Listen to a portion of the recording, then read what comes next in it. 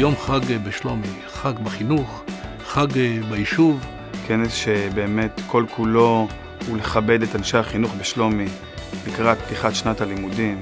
זה כנס מיוחד, כנס שהוא בעצם יום היערכות יישובית, והשנה הוא בסימן המודל ההוליסטי סמארט סיטי. לי חשוב מאוד שכל ילד בשלומי, כל ילד וילדה, יגיעו להישגים הגבוהים ביותר שיש. ושמנו לנו מטרה להעצים את תחום החינוך ולשכללו, ולהעמיד את שלומי בחוד החנית של החינוך המצוין וההוליסטי. הבן אדם הוא, הוא מכלול של גוף, רוח ונפש, וזה בעצם המודל, ובכדי להגיע למיטביות שלו צריך לגעת בכל הפרמטרים.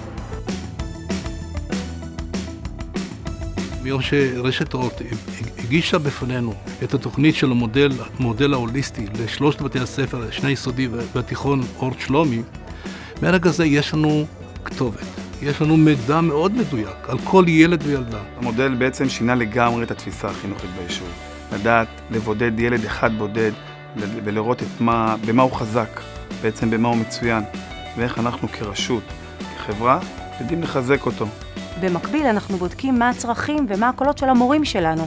כי כשלמורה יהיה טוב, הוא ירגיש שייך והוא ירגיש שיש מענה לצרכים שלו, אז גם הוא ירגיש שהוא יכול לתת מעצמו אפילו יותר.